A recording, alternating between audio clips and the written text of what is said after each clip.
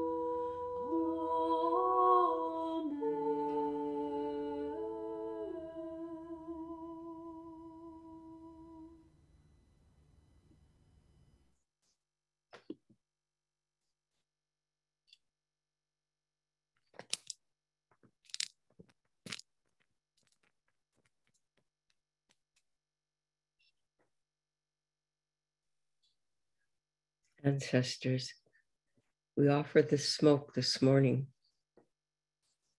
We come to you facing a time, a day, a moment of transubstantiation, shaking off the horrors and the blackness of pandemic,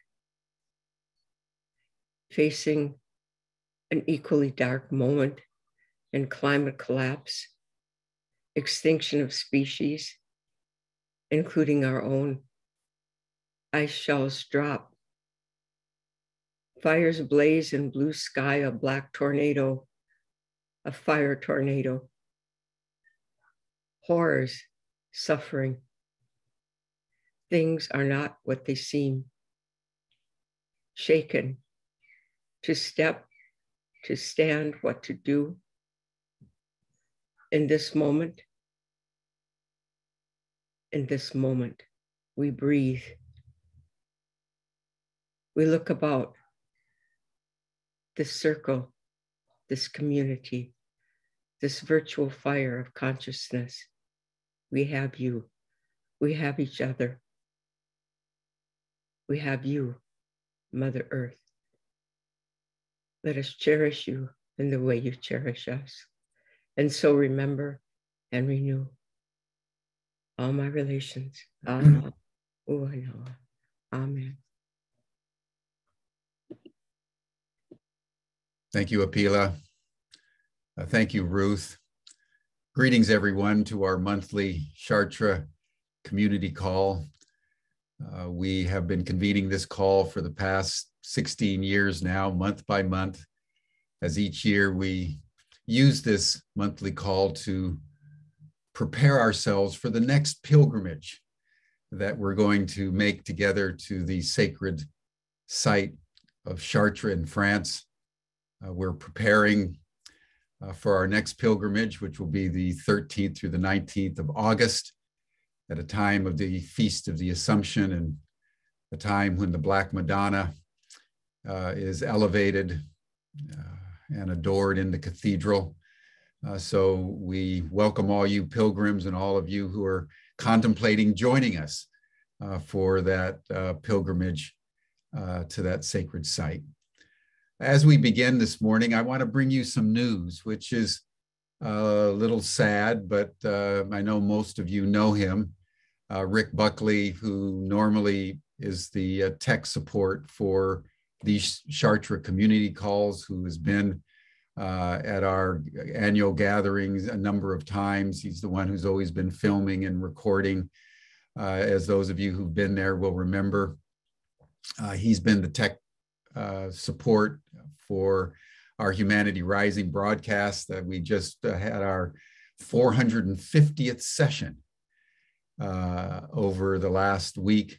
As day by day, we continue to bring um, an opportunity for people all over the world, now in over 130 countries, just to come together and share their experiences of what it's like going through uh, the world right now, as uh, Pila uh, just uh, described, uh, and take counsel together and build community together. And Rick has been a stalwart partner of mine, along with Georg, who's uh, doing the tech support today, um, as he has for many, many years now, uh, in partnership with Rick.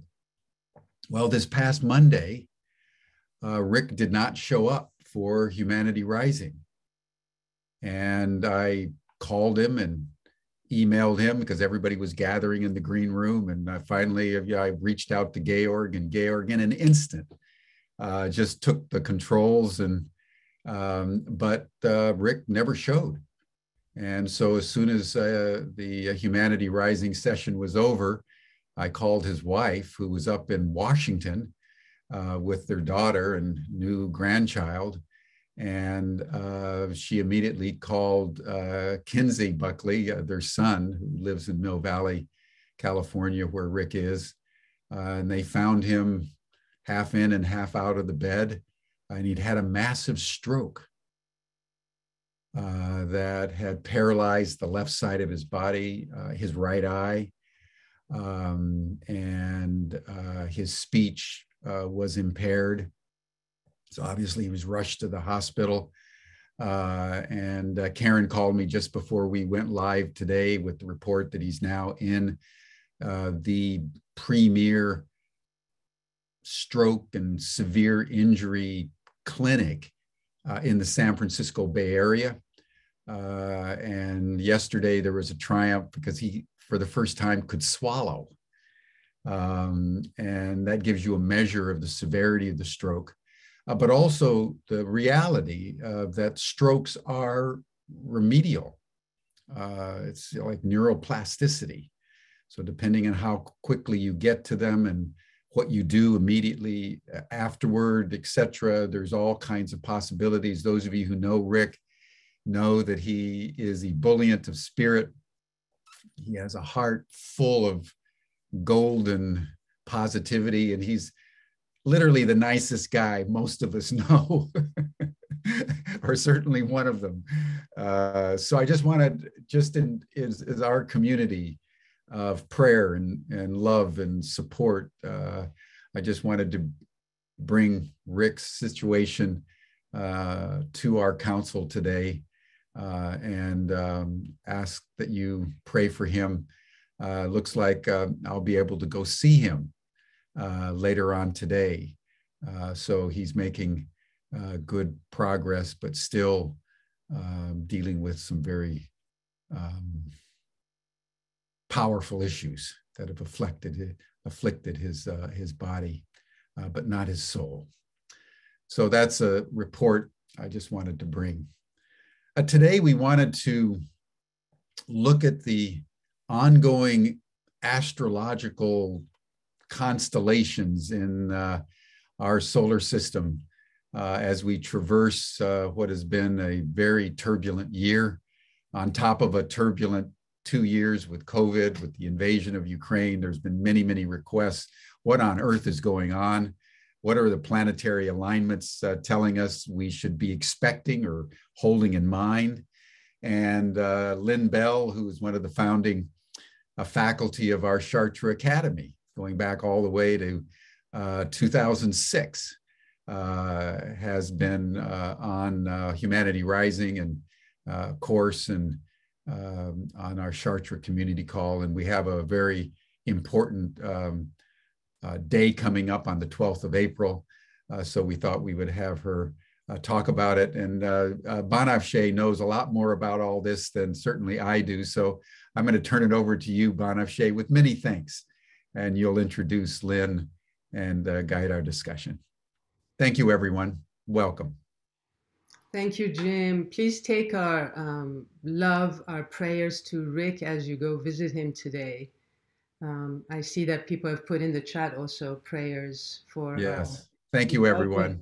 For our beloved colleague and friend, and really, truly one of the nicest guys you could ever meet.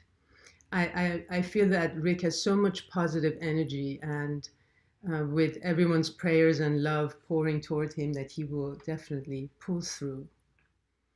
Um, as we're witnessing the splendor of nature, everyone, in this glorious month of April, we, we will also be showered by the magical and unifying blessings of, of this very auspicious exact conjunction between Neptune and Jupiter in Pisces, uh, which happens every 166 years. Um, this conjunction is said to open us to higher spiritual dimensions and help us step up and uh, remember and activate our soul's purpose. So we thought it would be um, a great idea to ask our resident astrologer, uh, Lynn Bell, to speak to us about this conjunction coming up on April 12th and uh, what uh, what kind of energies uh, do we have the opportunity to work with? And I also hope that Lynn, you will speak to us about the astrological um, situation, uh, what the stars will be like, what the planetary alignments would be like in August when we're um, when we will be visiting Chartres, when we when we will be doing our pilgrimage for Venus rising. Lynn.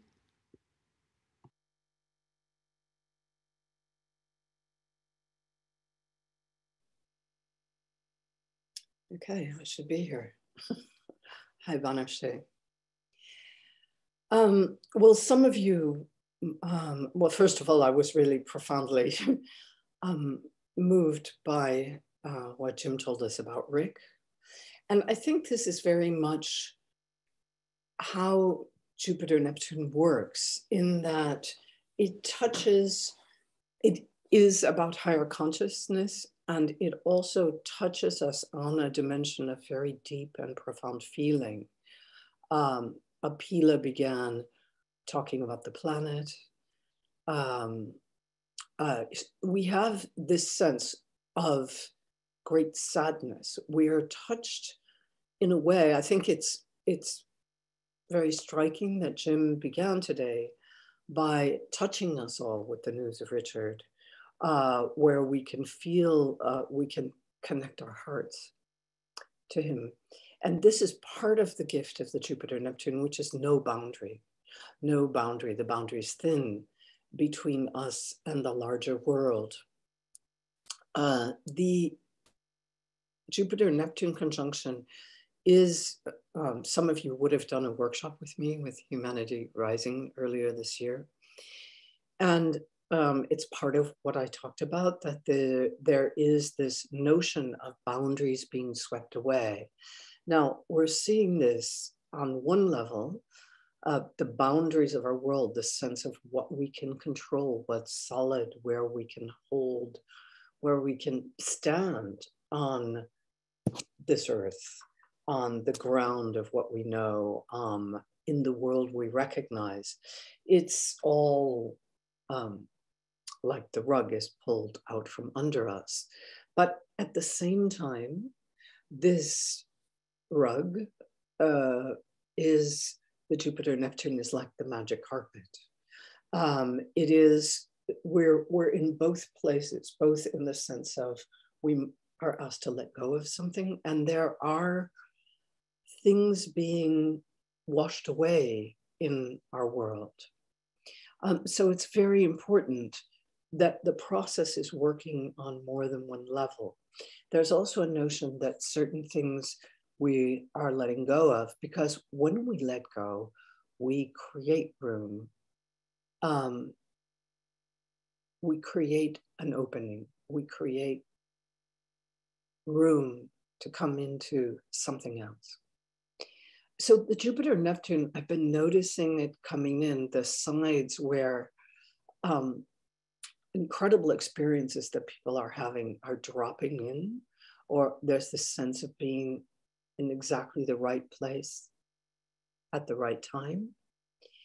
And um, a friend of mine uh, sent me a dream she had. Normally, Jupiter Neptune gives us extraordinary dreams about how we are connected with the divine, with each other, with this time and space. And uh, she had a dream of uh, her mother who had died a year ago who was in a place of extraordinary beauty. And there were colors and smells. And um, she saw all these people come to her, talked about how her mother had touched their lives, how uh, the, she saw that a smile that someone she talked to every day and said hello to, the effect that had on the person in this other dimension. So, one of the things that we have access to right now, we is a larger dimension, uh, something connecting us on a much higher level. I'm sorry, there's a phone ringing in the background. It's almost like someone's trying to call me in another, from another space. And it's slightly, even though it's really in another room, I can kind of hear this going on and it's a little bit odd. Um, speaking of calls. Uh, so the Jupiter Neptune, I've seen it come in. I don't know how many of you watched um, the, the acceptance speech that was given by Jon Batiste at the Grammys last week, who said, There is no, thank you for this, but my deepest belief is there is no best album, no best song, no best musician, no record of the year. They're all incredible creative contributions. We're all doing our best all the time. The music we're making is all extraordinary. And he, um, uh, he went on to say um, that he wanted to thank everybody who was involved, as people do. He said uh, that he'd listened to the music of the other artists who were nominated, and he said they'd all given him out of body experiences. Um, and then at the end, he said, and even if I don't know you, I thank you. Even if I don't know you, I love you. And uh, to me, this was that moment where someone's given a spot, um, and we don't have a chart for him, but he has Moon and Jupiter in Pisces, and which were, are being activated by this big conjunction. And many of us are put in situations at this moment. We could say that Richard is at an intersection of something in our lives where we touch the great, this great feeling of empathy or connectedness. I this is also happening through um, um, another uh, energy that is coming in, uh, which is what we're seeing in the Ukraine. And we talked about this last week this kind of sense of this senselessness of the way that we can watch one human being harm another and what it wakes up in us as a mirror opposite, as, as a desire for the goodness and the healing of the world. Another place where I saw the Jupiter Neptune come in were, were in these incredible images of bioluminescence, of plankton in the sea that lights up at night uh, there, there's a very rare phenomena where suddenly the ocean was filled with light. And of course, that is the realm of the Jupiter Neptune conjunction, this, the realm of the ocean. So while our attention can and should be on what is being lost and what is being, and the suffering in the world, our attention also can and should be on a possible access or opening to um, the divine, to messages. As Banafsheh said, this conjunction happens every 166 years. Now, the Jupiter Neptune, the reason the cycle is 166 years is it goes through all of the signs. Uh, the Jupiter and Neptune conjunct every 13 years. The last conjunction was in 2009. And when I look at these conjunctions, I see that each time they come together, they connect us in new ways. They give an opportunity to bring people together through almost a new vision of the world. So there's an individual connectedness, the, the, the divine, the sacred is always there waiting for us to find our way. It's always there waiting for us to find a connection there's this sense if you want to connect with the conjunction, um, it would be great if maybe afterwards Banafsheh could give us a movement because she's um, so good at invoking that, even if we're only using our arms or our hands. But when Jupiter and Neptune has to do with our faith, that we are in the right place for us now whatever that may mean, um, that uh, where does the faith connect? Where do you feel it within inside, within your inner experience? Where does it come through and begin to flow in your life? Uh, where can you connect? One of the things um, I was taking a course on um, uh, the medieval cosmos uh, in a, a university uh, astrology program that studies the history of the culture of the sky, culture and cosmos. Uh, and uh, they were talking about uh, the philosophy of the soul in the Middle Ages and how there was a belief in the animal and the rational soul. And I asked, so will and intelligence have its faith in the rational soul? But where does faith where does faith have its source? And uh, the instructors in the course couldn't answer this. And as i myself ask myself this question where does your faith have its source? Where does your connection to something higher come in? Um, and one of the ways um, that I that I feel it personally is almost as if there is a flow within the very top of my skull, the inside of my the inside of my skull, the lining of my brain, almost like a fountain, opens here. And there is a um, a way that this fountain or this opening um, is again available if we know how to connect to it. If we think of it as Jupiter and Neptune in Pisces are about water. In 2009, we had um, an economic, the economy essentially fell apart, and many people lost a lot. Uh, and certain people had trouble getting back on their feet or recovering from that loss. And at the same time, this was the moment where we became connected to each other through, um, on, a, on a global level, through social media. If you look at the graphs of how people come in, of how they are connected over time, uh, the numbers shoot up in 2008 and 2009. Just it's, it's there are people, but there's some exponential thing that suddenly we can all be connected. And this is what Neptune and Jupiter is about, is asking us to see how we are all connected. And you may ask, connected, where are we connected? Where is my attention? Where is the vision uh, for me? Um, and faith right now uh, is we can all feel that the old world in which we were all grounded has is is being dissolved that chunks of it are falling apart. We can see forces rising where people want to compensate with beliefs that seem regressive or conservative.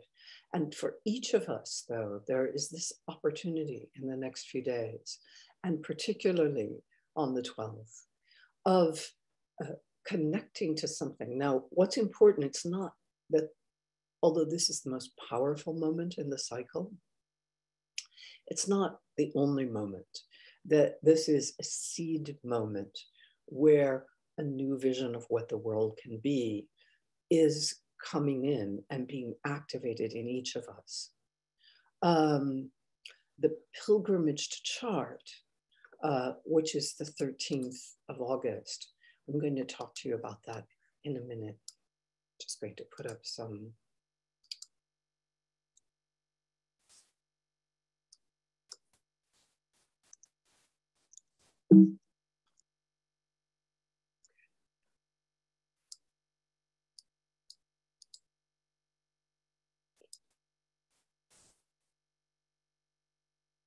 Um, before I talk to you about Chartres, um, I wanted to mention that in April, so we have the 12th, and we have another day, um, Venus, which is the planet of love, boundless love, is going to also join Jupiter and Neptune later this month. And Ju- Venus is said to be exalted in Pisces, and Jupiter and Neptune are the rulers of Pisces. And this conjunction, this coming together of uh, first Venus joins Neptune on the 28th and Jupiter on the 30th. This is a period where the wave of love, the energy of love, can move, um, can lift the world. On the 30th as well, there is an eclipse of the sun. Um, and what we might hope is there is some experience of the spiritual, of the divine that comes in and gives us an ability to uh, connect in a larger way. So we're in this heightened period, the 12th, and it's reinforced at the end of this month by the passage of Venus.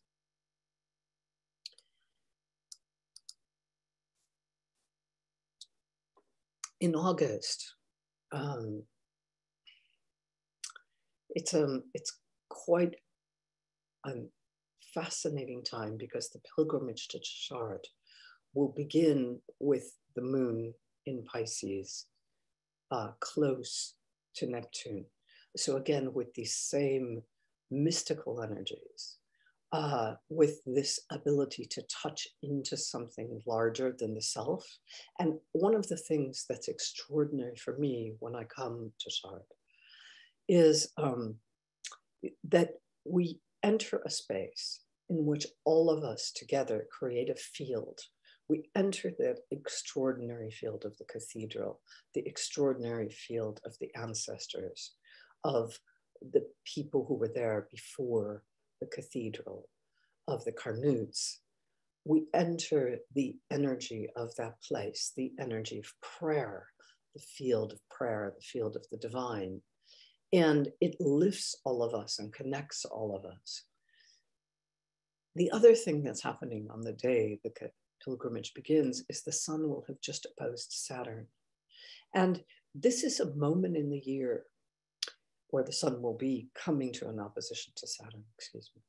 And it's a moment in the year where we commit, we look at how we want things to come into being, and we make a commitment to something on our own path.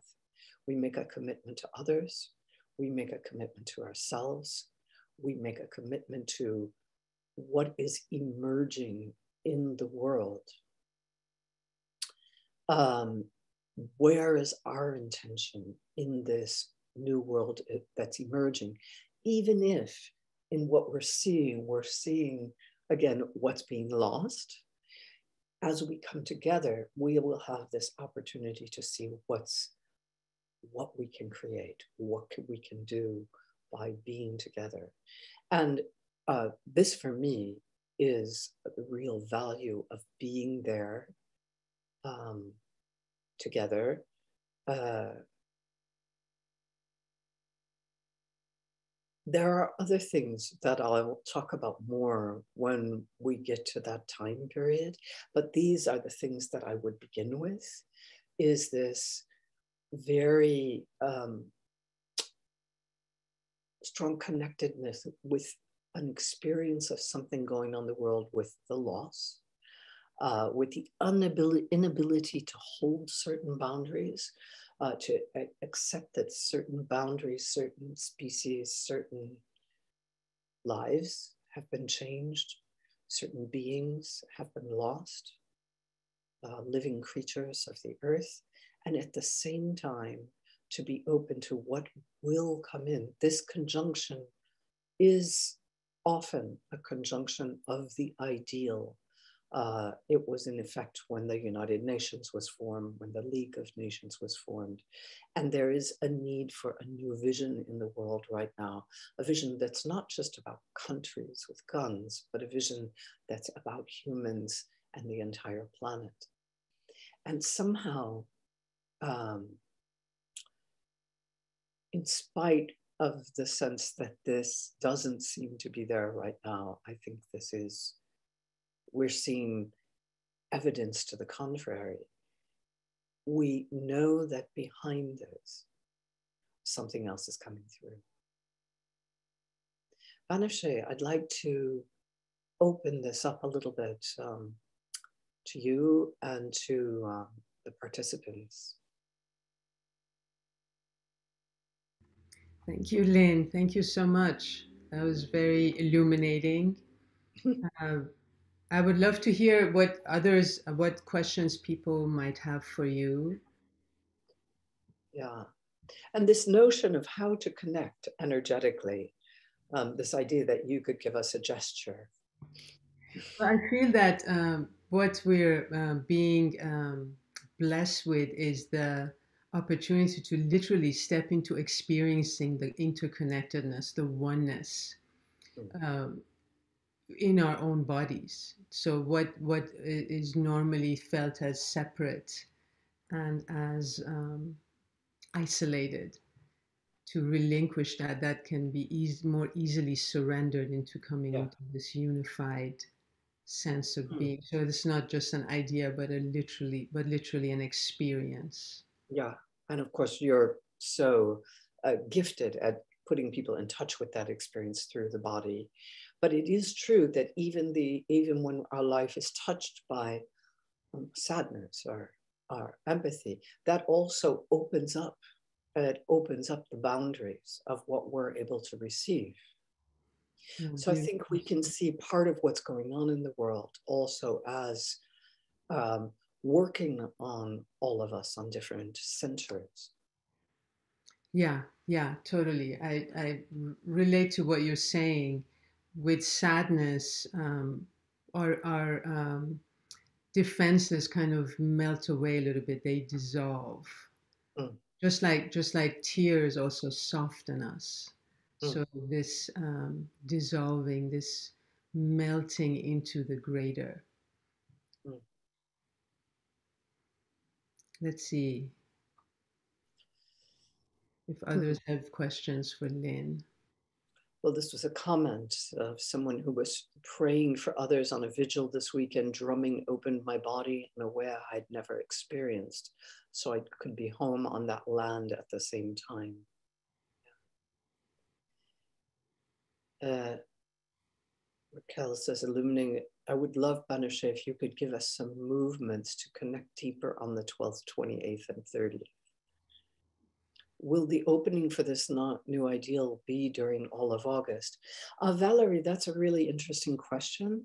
The opening uh, with Jupiter Neptune, one of the things is this is the, there's only one conjunction, one seed moment, but at the end of the year, Neptune, Neptune will move very quickly into Aries, and then it will retrograde back into Pisces later in the year, in uh, late October. And the last two months of the year, Neptune and Jupiter will be together in. So it's a period, there are two periods of inflowing, influx. Um, as we come into Chartres, the moon will connect with Neptune and then with Jupiter and Chiron. And it will um, be, it will empower a series of planets in the chart that I'll be speaking to you about every day. Uh, and we'll be working with that in detail. Um, the on, on the day of the opening itself, the moon is opposition Mercury. And these are the two sides of the mind. Mercury is the informational mind, the, the what do we know? What's the word for this? What's the name for it? How do we sort things out? And the moon is the mind that receives and takes in. Um, yes, the seed moment is April 12th, but then there's again like a great, you could you could imagine that there is a showering down from the cosmos that comes again at the end of the year. So it's not like if nothing's happened on April 12th, nothing has happened. It's really, it's really important to know that there's a kind of a softening and a connecting and a rising up. But pay attention to your dreams. People are telling me extraordinary things at the moment. Are you getting this feedback too, Banafsheh? I am getting this feedback and I'm experiencing it myself. Yeah. yeah. Mm. I just happen to have my son in Pisces, so that's the reason that I. right, you would be you would be a, a, complete receptor for this. Really stepping, but it's where uh, where, I mean, as a Sufi as well, I think there is that space, that creating the space for the divine, um, and also in the holy time of the year uh, uh, there is that sense of being so much closer. I mean, I'm very aware of it. It's for those of you who don't know, it's Ramadan at the moment, and um, because there's a large uh, Muslim community here, there's a there's a fervor uh, in a lot of people who are fasting until the end of the day, uh, until until the sun sets, uh, which is sooner here. But a lot of people don't drink or eat between sunrise and sunset. And then they gather with loved ones and share all kinds of wonderful, they share uh, stories, they share offerings, they share d- delights of all kinds. And they welcome the divine in that sharing, they welcome love. Um, so it's a particularly propitious moment if you're in that tradition. Yeah, and it's also the beginning of the uh, Holy Week uh, today. Yes. And, uh, Jim, would you like to say something about that? Mm-hmm. What uh, Ruth opened us, what she opened with was a was a song that is related to uh, the Holy Week. Yes. And well, this is a the day. This is Palm Sunday, uh, in the mm-hmm. Christian calendar when, as the tradition recounts it, uh, Jesus came into Jerusalem in a celebratory, uh, supreme moment of uh, adulation by the crowds who took branches of palm trees and laid them down in the road before him as he rode into Jerusalem uh, sitting on a mule. And uh, obviously, uh, within a few days, the tide had turned. And by next Friday, uh, called Good Friday in the calendar, uh, he was being crucified. Mm-hmm. But this was his moment of, of triumph moving into Jerusalem. but Lynn, I had a, an experience that I wanted to check out with you, given what you say, because it didn't occur to me um, till just now with your illumination on this uh, Jupiter Neptune conjunction coming up. You know, I was in this uh, uh, a, a, decision pathway uh, that had taken a, I would say, a, a limiting and negative direction. Ah. And decisions had been made, and um, all of a sudden, I I went into a meditation actually, and I was contemplating uh, the matter. And all of a sudden, I felt a surge of both boundlessness and I would say cosmic empathy. Wow. To the opposite, and realize that the constriction that had gripped us as a as a as a decision making group had taken us into a, um, a, a negative space, as it were. And what was needed is going to the opposite of empathetic boundlessness and possibility of new creation. And I actually set some things in motion uh, that were initially confusing to some people because everybody thought we'd made the decision. And I'm realizing, listening to you, that I was possibly under the sway of this conjunction, and something in me just popped into this Neptunian uh, uh, spaciousness and this Jupiterian uh, exaltation of possibilities. Right. And uh, is that basically what you're talking about? Yeah, that, that's exactly. That, it's like we all live in too tight a set of clothes on a certain definitely. psychic or spiritual definitely. level. We're all fitting ourselves into yes. a way of being in the world. Uh, and to and what the jupiter neptune is is suddenly we experience our true dimension all right yes. and i you know it might be an instant it might be a glimpse it's not but at the same time when you're in jupiter neptune it's it's it's almost like you're taken to another sphere uh, so it isn't a place necessarily of rational decision making, but you're taken there so that you see things differently, so that Mm, the scales fall from your eyes, if you like. It's exactly what happened.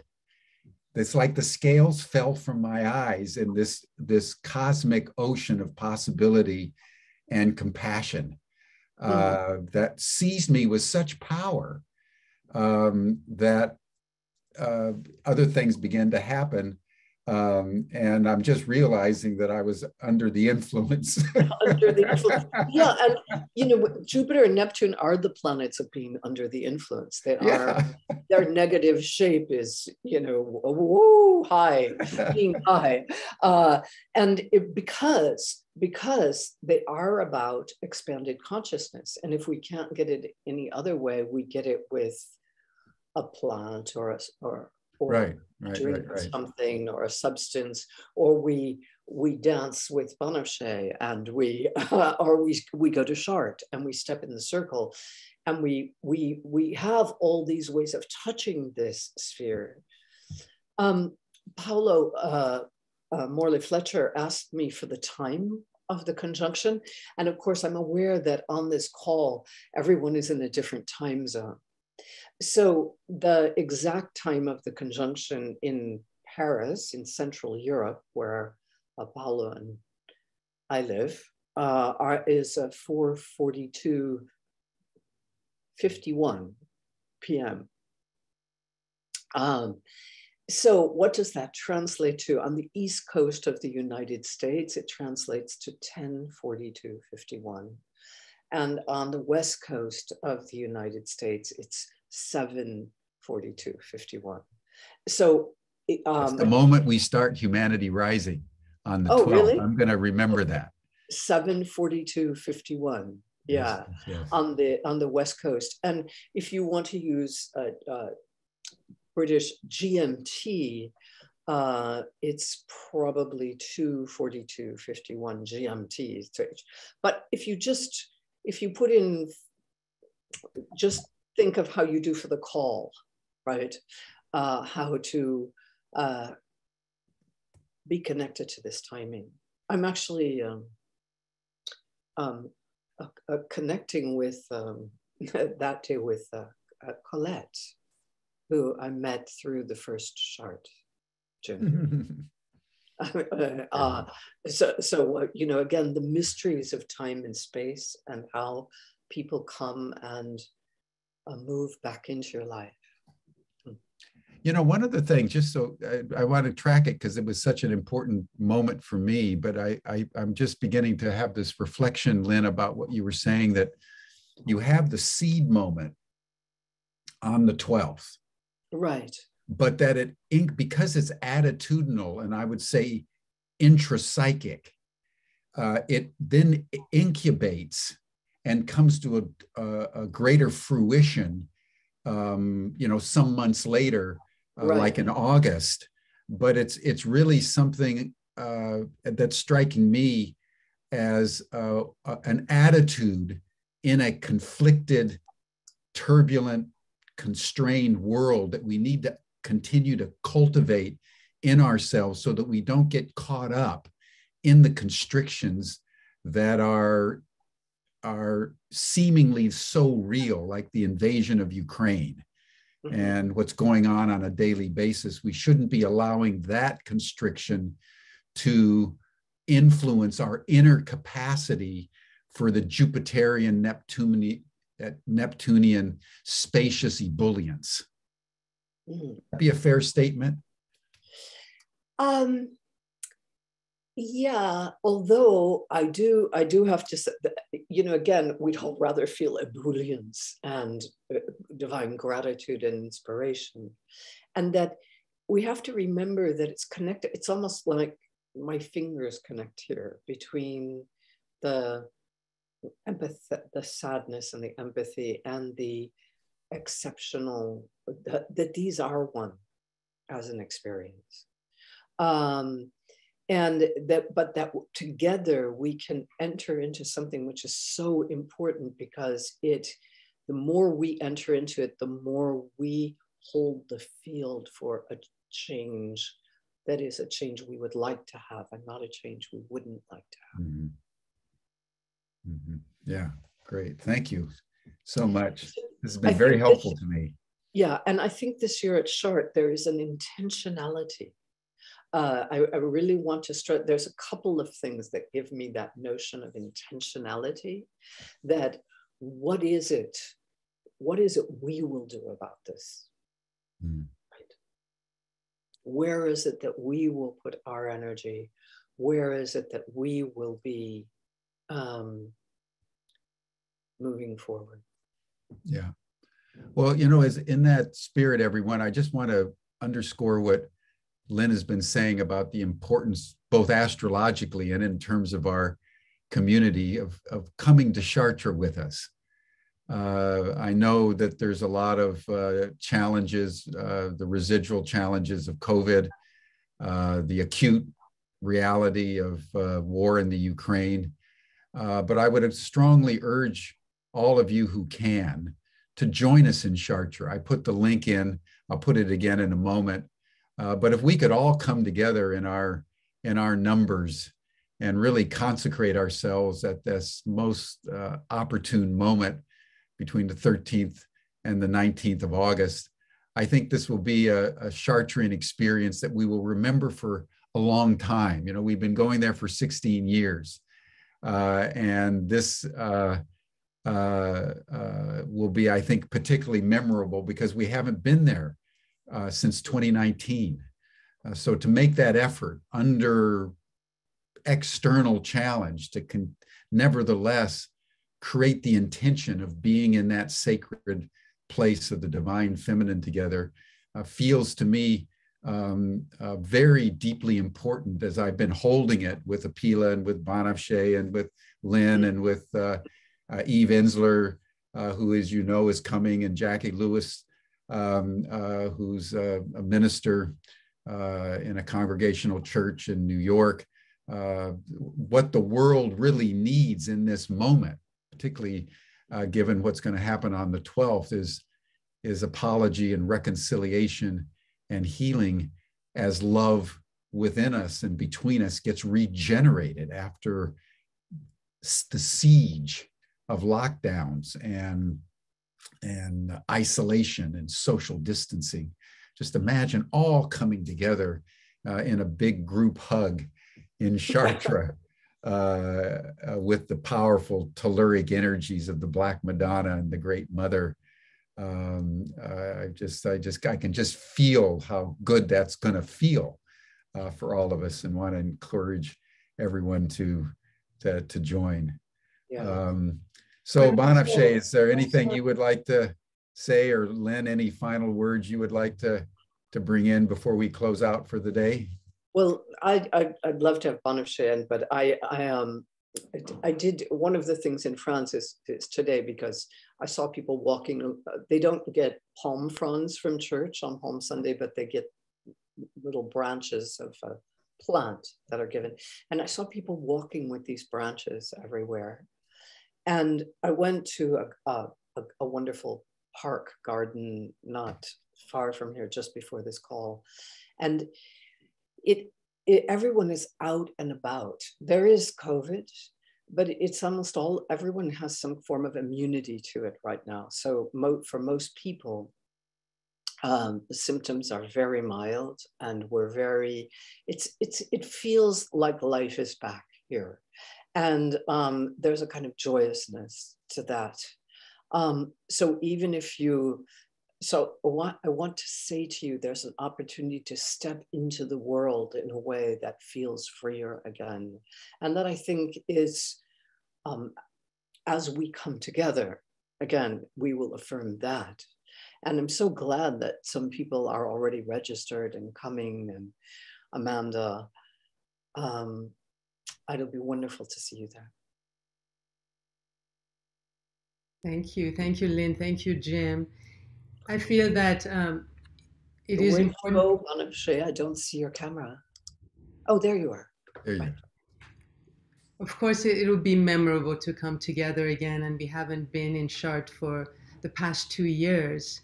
But also, um, what's so important, what Lynn, you were saying about uh, the intention, bringing our intentions together for a new story, a new vision for our world.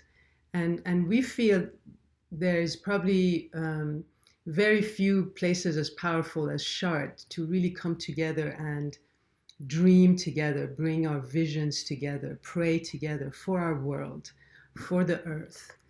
Uh, this has been a place where people have prayed from time immemorial, uh, before even the cathedral was built.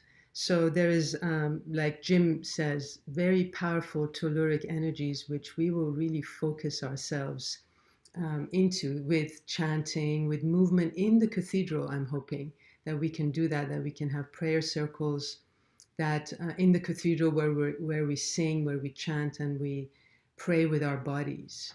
So it's going to be a very, very powerful time, especially with um, Lynn, what you were saying about the uh, planetary and constellations at that time and that it is during the week of the Assumption, and the Black Madonna is yeah, in the course. cathedral for all of us to commune with so readily.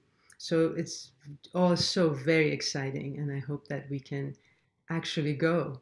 That that um, the the ways will be open, that we can go and be there together.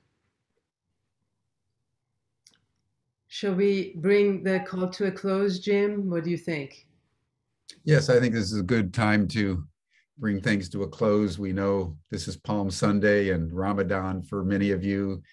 Uh, so we don't want to go beyond the hour, but uh, thank you so much, Lynn. You're so illuminating each time. Uh, and it's always striking to me how we're we're going along and we think we're in control and we're making decisions in our own head and we're doing whatever we're doing.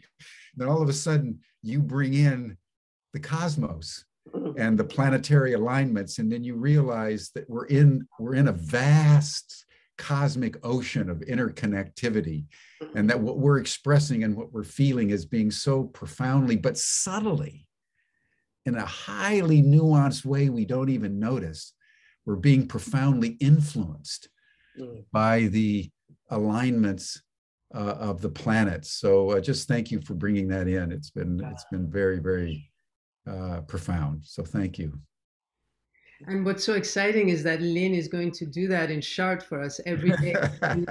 us about what is going on in the greater cosmos. So mm, yeah. that, I really look forward to that. Yeah. so everyone, can we, um, before we close, can we come together and bring our hands to our hearts and close our eyes, please? Flow with your breath. I'm going to invite all of us to hold our dear Rick Buckley in our hearts.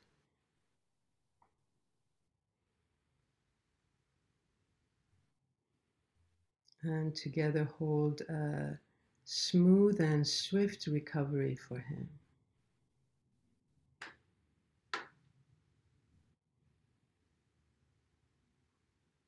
Shower him with our love and healing energy.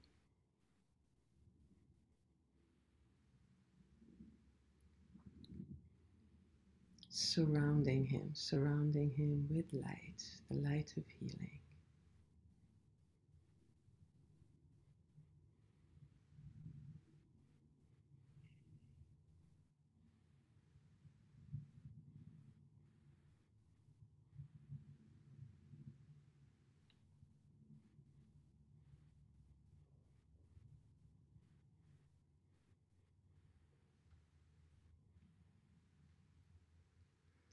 And taking a deep breath, please. And exhale, may it be so. May he recover soon and swiftly. And open your eyes when you're ready. Thank you so much for holding that circle with us. And with all that Lynn has shared with us, this great opportunity for humanity to step into experiencing our interconnectedness and the awareness of the power that we have to really truly birth something new. So I hope that we will take this time to journey inward through meditation, through dance, journey inward to silence and stillness, to really tune into what the universe wants to birth through us.